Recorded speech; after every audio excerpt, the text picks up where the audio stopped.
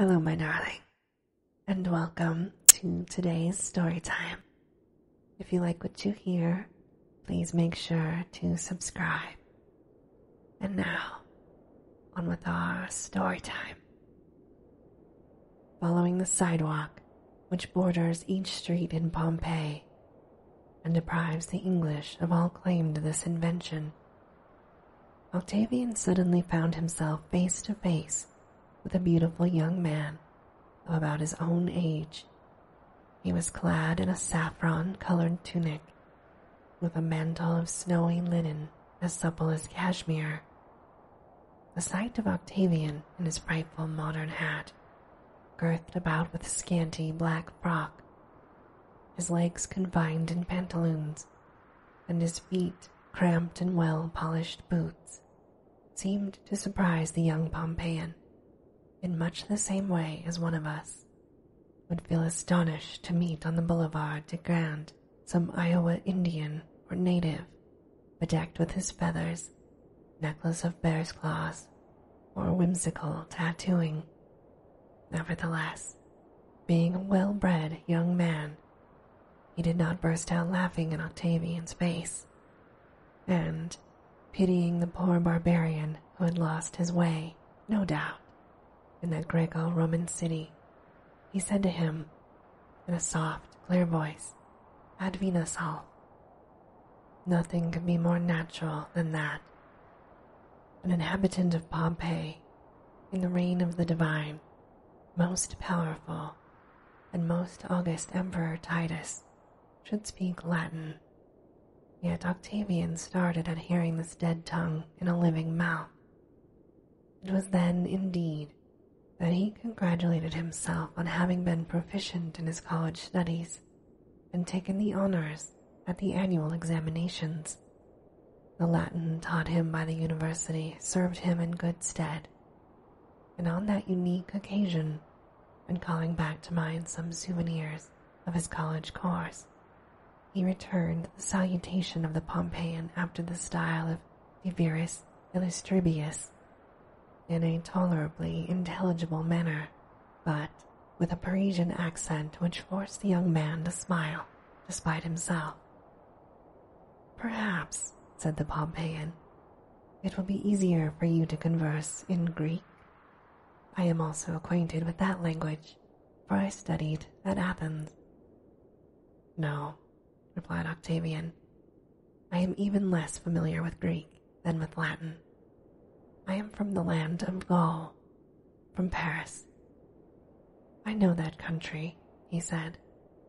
My grandfather served under the great Julius Caesar in the Gallic Wars. But what a strange dress you wear. The Gauls who I saw at Rome were not thus attired. Octavian attempted to explain to the young Pompeian that twenty centuries had rolled by since the conquest of Gaul by Julius Caesar and that the fashions had changed, but he forgot his Latin, and indeed, to tell the truth, he had but little to forget. My name is Rufus Holconius, said the young man, and my house is at your service, unless, indeed, you prefer the freedom of the tavern. It is hard by the public house of Albinus, near the gate of the suburb of Augustus Felix, in the inn of Cyrenius, son of Publius, just at the second turn.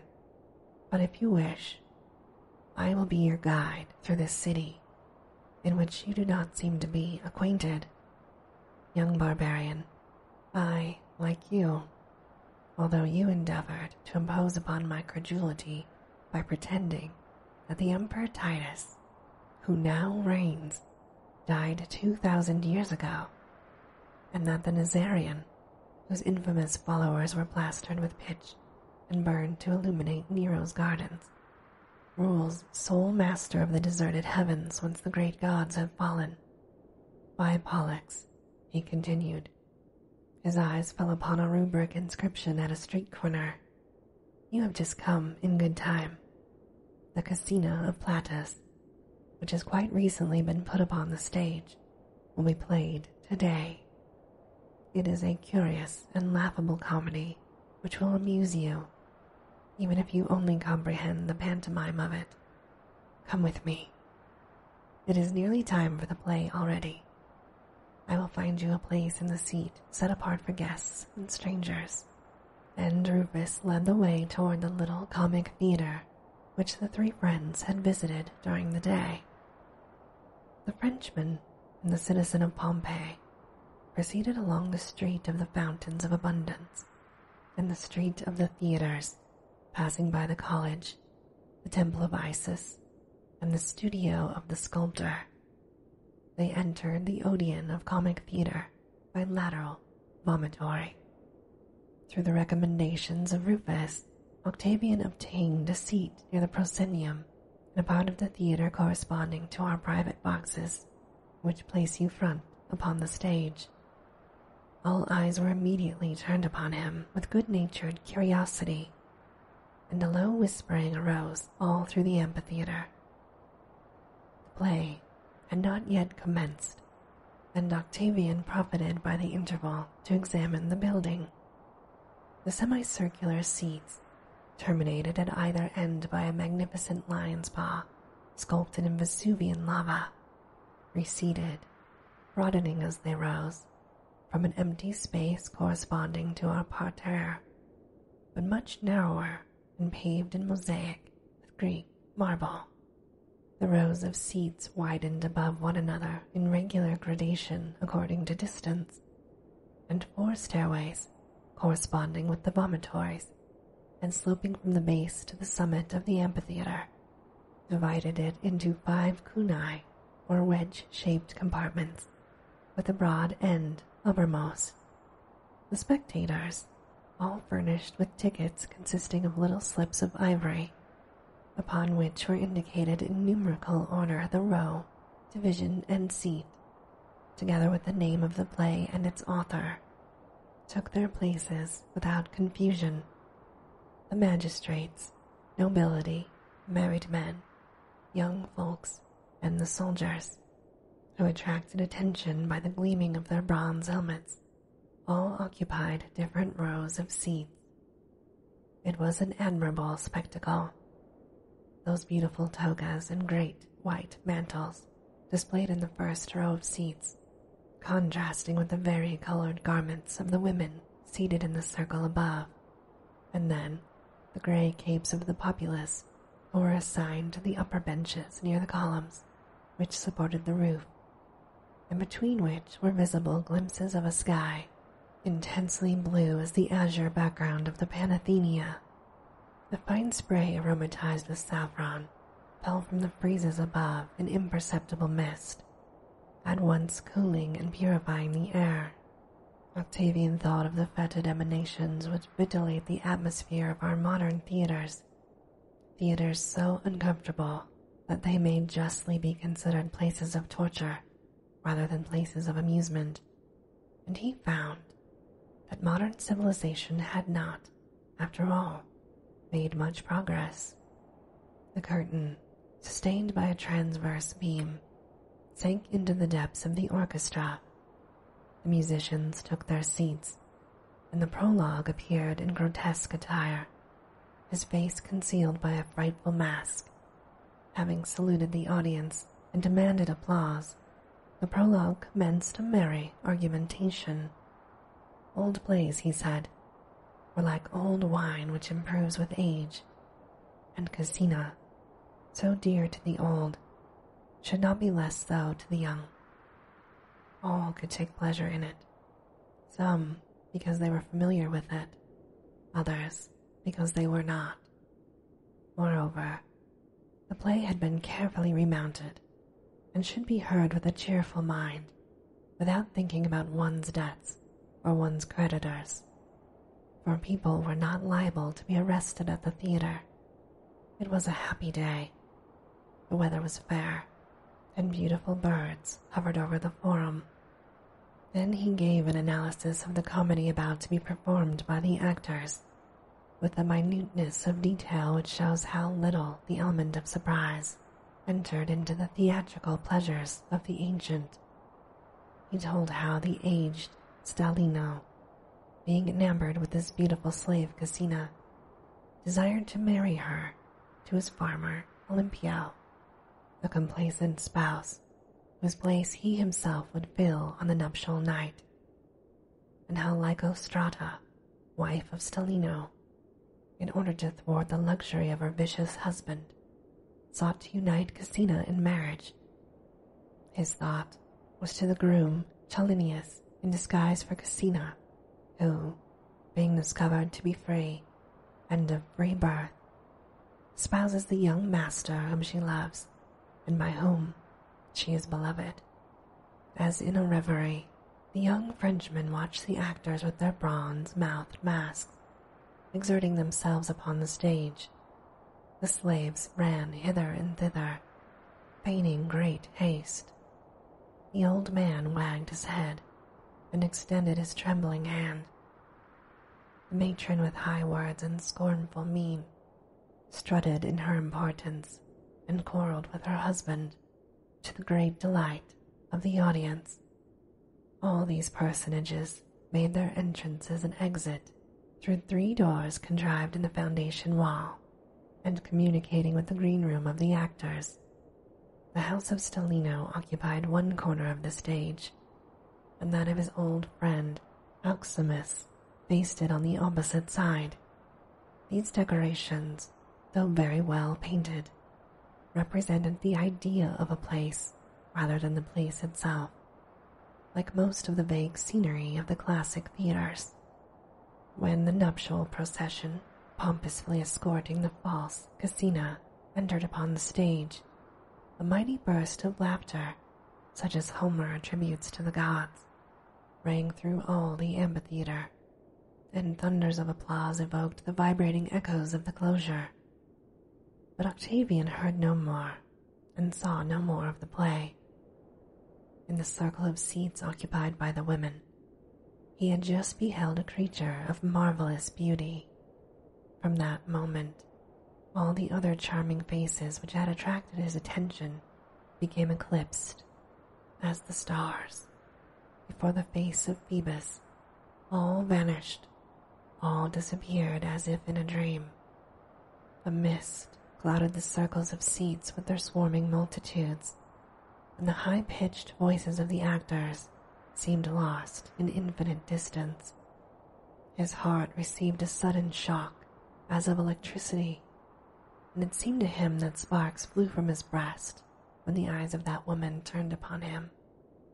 She was dark and pale, her locks, crisp flowing and black as the tresses of night, streamed backward over her temples after the fashion of the Greeks, and in her pallid face beamed soft, melancholy eyes, heavy with an indefinable expression of voluptuous sadness and passionate ennui.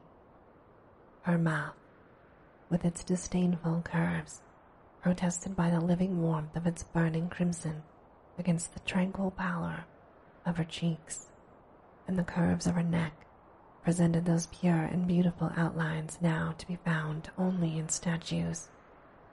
Her arms were naked to the shoulder, and from the peaks of her splendid bosom, which betrayed its superb curves beneath a mauve rose tunic, fell two graceful folds of drapery that seemed to have been sculpted in marble by Phidias or Cleomenes. In sight of that bosom, so faultless in contour, so pure in its outlines, magnetically affected Octavian. It seemed to him that those rich curves corresponded perfectly to that hollow mold in the museum at Naples, the statue which had thrown him into so ardent a reverie. And from the depths of his heart, a voice cried out to him that this woman was indeed the same, the very same who had been suffocated in the via of Arrius Diomedes by the cinders of Vesuvius. What prodigy, then, enabled him to behold her living and witnessing the performance of the Casina of Plautus? But he forbore to seek an explanation of the problem. For that matter, how did he himself happen to be there? He accepted the fact of his presence as in dreams we never question the intervention of persons actually long dead but who seem to act nevertheless like living people. Besides, his emotion forbade him to reason. For him, the wheel of time had left its track, and his all conquering love had chosen its place among the ages passed away. He found himself face to face with his chimera, one of the most unattainable of all, a retrospective chimera. The cup of his whole life had in a single instant been filled to overflowing. While gazing upon that face, at once so calm and passionate, so cold and yet so replete with warmth, so dead, yet so radiant with life, he felt that he beheld before him his first and last love, his cup of supreme intoxication. He felt all the memories of all the women whom he ever believed that he had loved vanish like impalpable shadows, and his heart became once more virginally pure of all interior passion. The past was dead within him. Meanwhile, the fair Pompeian, resting her chin upon the palm of her hand, turned upon Octavian. Though feigning the while to be observed in the performance, the velvet gaze of her nocturnal eyes and that look fell upon him heavy and burning as a jet of molten lead. Then she turned to whisper some words in the ear of a maid seated at her side. The performance closed. The crowd poured out of the theater through the vomitories, and Octavian, disdaining the kindly offices of his friend Rufus, rushed to the nearest doorway he had scarcely reached the entrance when a hand was laid lightly upon his arm, and a feminine voice exclaimed in tones at once low, yet so distinct that not a syllable escaped him. I am Tyche Novalia, entrusted with the pleasures of Arria Marcella, daughter of Arrius Diomedes. My mistress loves you. Follow me. Arria Marcella had just entered her litter, borne by four strong Syrian slaves, naked to the waist, whose bronze torsos shone under the sunlight. The curtain of her litter was drawn aside, and a pale hand, starred with brilliant rings, waved a friendly signal to Octavian, as though in confirmation of the attendant's words. Then the purple folds of the curtain fell again, and the litter was borne away to the rhythmical sound of the footsteps of the slaves.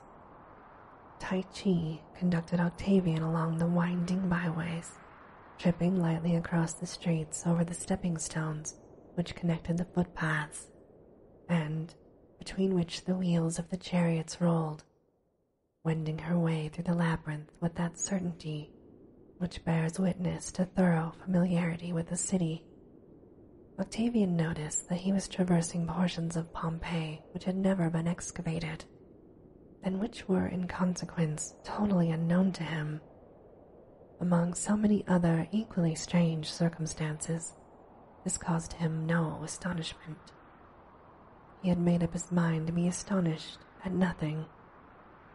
Amid all this archaic phantasmagory, which would have driven an antiquarian mad with joy, he no longer saw anything save the dark, deep eyes of Arria Marcella and that superb bosom which had vanquished even time and which destruction itself had sought to preserve. They arrived at last before a private gate which opened to admit them and closed again as soon as they had entered. Octavian found himself in a court surrounded by ionic columns of Greek marble painted bright yellow for half their height, and crowned with capitals relieved with blue and red ornaments. A wreath of Aristolochia suspended its great green heart shaped leaves from the projections of the architecture like a natural arabesque. And near a marble basin framed in plants, one flaming rose towered on a single stalk, a plume flower in the midst of natural flowers. The walls were adorned and paneled fresco work, representing fanciful architecture or imaginary landscape views. Octavian obtained only a hurried glance at all these details, for Tyche immediately placed him in the hands of the slaves who had charge of the bath, and who subjected him, notwithstanding his impatience, to all the refinements of the antique thermae. After having submitted to the several necessary degrees of vapor heat, he endured the scraper and felt cosmetics and perfumed oils poured over him in streams. He was reclothed with a white tunic, and again met Tyche at the opposite door. She took him by the hand and conducted him into another apartment gorgeously decorated. Upon the ceiling were painted, with a purity of design, brilliancy of color, and freedom of touch. This bespoke the hand of a great master rather than of a mere ordinary decorator. Mars, Venus, and Love.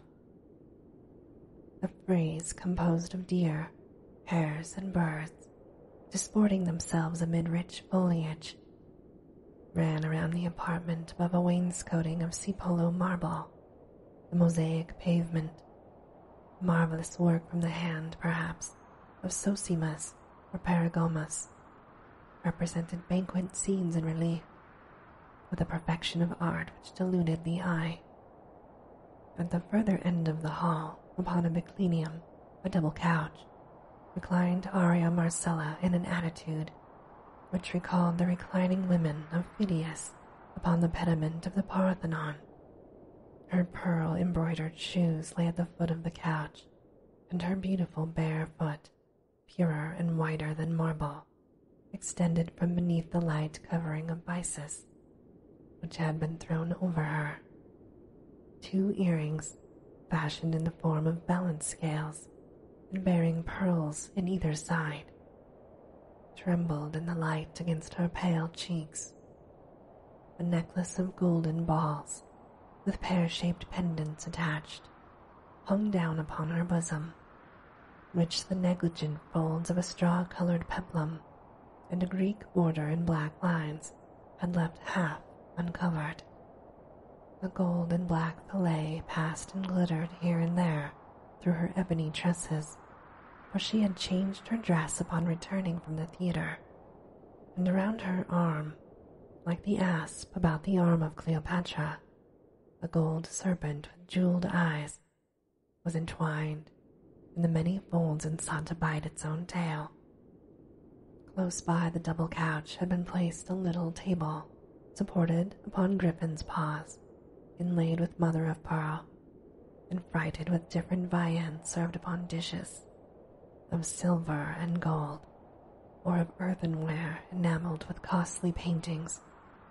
A Phasian bird, cooked in its plumage, was visible, and also various fruits which are seldom seen together in any one season. Everything seemed to indicate that a guest was expected. The floor had been strewn with fresh flowers, and the amphorae of wine were plunged into urns filled with snow. And this, my darling, ends our story time for today. As always, I hope that you have very sweet and creepy dreams. Good night.